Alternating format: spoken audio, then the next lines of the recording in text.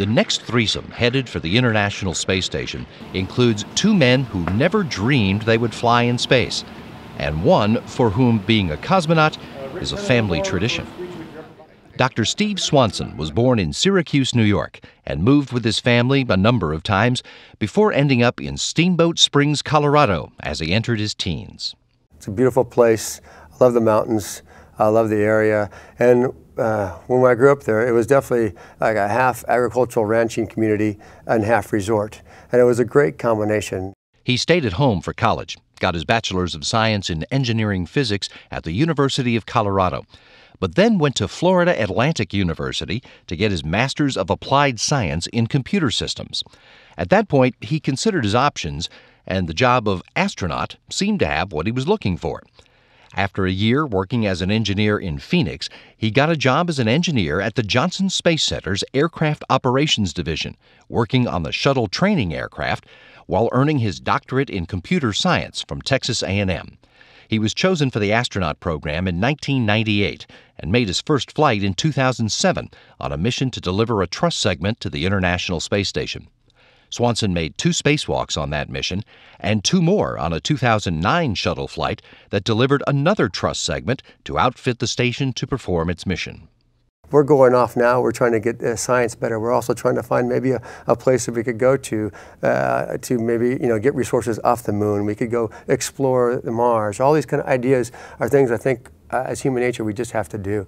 Alexander Skvortsov was born in Shelkovo, near Moscow, because his father's job as a cosmonaut brought the family to Star City, a town with no maternity ward.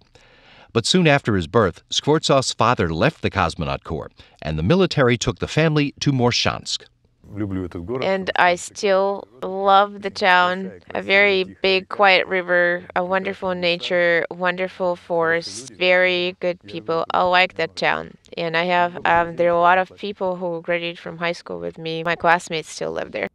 After high school, Skvortsov set out to fulfill his dream of being a cosmonaut, like his father. After he completed study at the Stavropol Air Force Pilot and Navigator School, he spent seven years in the National Air Defense Force before studying at the Military Red Banner Air Defense Academy. Skvortsov graduated the academy in 1997, the same year he was selected for the Cosmonaut Corps. He spent six months on the International Space Station in 2010, including serving as station commander for Expedition 24. After he returned to Earth, he finished his studies at the Russian Academy of Civil Service to become a lawyer, and he retired from the Air Force as a colonel in 2013. It is um, an enormous joy to look down to Earth, and we really want to um, see Earth always looking as beautiful as we see it uh, from space a blue planet with wonderful nature. Oleg Artemiev was born in Riga, the capital of Latvia, where his military officer father was stationed. But the family soon moved to Kazakhstan, to the town now known as Baikonur, when Artemiev was a small boy. Although he lived in the place where people were launched into space, he wanted to be a sailor. Cosmonauts? We always thought of cosmonauts as the people that we always have to go meet and greet. They would pull us out of um, the activities that we actually enjoyed, and they would line us up along the road and make us wave little flags to greet them. After high school, Artemiev went off to train as a sailor.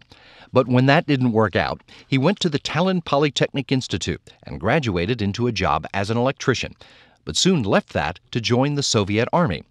After two years in the service, he went to Moscow and was admitted to the Bauman Technical University, where he earned a degree in low temperature physics and technology.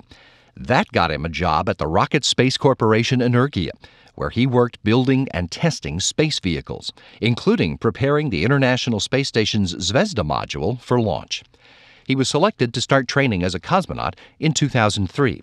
In 2009, he participated in the Mars 500 experiment, along with future cosmonaut Sergei Ryazanskiy, on his way to preparing for his first spaceflight assignment. I hope that um, my small contribution will help those who will eventually make a first step on the surface of Mars or touch an asteroid, bring something good back, maybe even see some extraterrestrial life. There are a lot of uh, good jobs on Earth, but this was the ultimate